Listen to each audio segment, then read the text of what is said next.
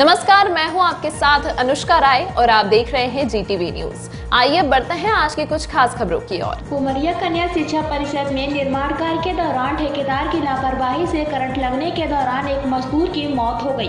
वह मृतक के परिजनों ने बताया कि अरुण नामक मजदूर कन्या शिक्षा परिसर में निर्माण कार्य में मजदूरी कर रहा था। उसी दौरान इलेक्ट्रिक उपकरण से कार्य कर रहा था और करंट की चपेट में आ जाने से उसकी मौत हो गई। जिसके सौ को उमरिया अस्पताल लाया गया एवं चिकित्सक के द्वारा मृतक के सौ की पीएम कार्यवाही के बाद अंतिम संस्कार के लिए उनके परिजनों को सौंप दिया गया है।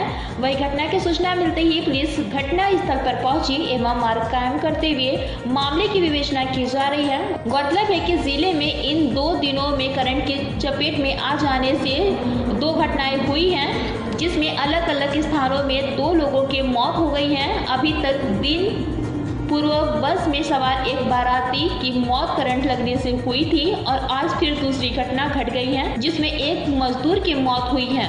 उमरिया से शंकर सिंह की रिपोर्ट। ब्रह्मा गया था काम करने के लिए घर में रहे थे सर वहाँ करंट मार दिया गाड़ी लेके ऑटो लेके गए लेके आए पड़ रहा मतलब मेरे मत भाई का लग जाने से करंट मौत भाई मेरे भाई का। आएगा डॉक्टर के पास ले आए। डॉक्टर चेक किया तो कहीं नहीं है। इसका मौत हो चुकी है यहाँ ला पूरा मामला ये ये लोग काम कर रहे हैं। ये सरिया लगा रहे हैं बाउंड्री वाल में। तो एक कारीगर दो सरिया लेके चला गया। ये दो सरिया लेके जा रहा था। आ, हम वहीं से निकले और बस इसको एकदम से चक्कर आ- कर रहे थे सर जी तो काट जहाँ लड़की लोग पढ़ रही कन्या। हॉस्टल। वहीं तो सरिया काटने में पता नहीं इसको करंट मार दिया क्या गिर गया किसका काम? उधर छतरपुर का था ठेकेदार।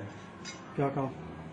गिलास पिनाने लगे हम तो थोड़ा सा पिया अब और यहाँ पर जो है तो मजदूरी का कार्य कराया जा रहा था और लापरवाही के कारण में उसको अचानक बिजली का करंट लगा जिसके कारण उसकी मौत हो गई है।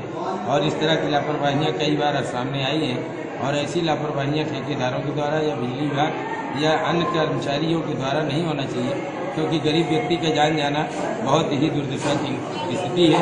और गरीब व्यक्ति एक अपने परिवार उधर पोषण के लिए मजदूरी करने आता है और जब इस तरह शिकार हो जाता है तो उसका कोई बीमा, कोई वो तो होता नहीं है। उसका परिवार जो है तो हर तरह से वंचित और दुखी होता है। इस पर प्रशासन संपूर्ण रूप से कार्यवाही करने के लिए पुलिस विभाग एवं जिला प्रशासन संपूर्ण रूप से ठेकेदार और उसके साथियों के ऊपर में कार्रवाई की जाए, उचित जो है, और उसके परिवार पे दया दर्शाते हुए उसको जो है मदद की जाए, उसके परिवार को शांति दी जाए। इसी के साथ उसकी आत्मा के शांति के लिए परमात्मा से हमारा भी निवेदन है कि परमात्मा उसकी आत्मा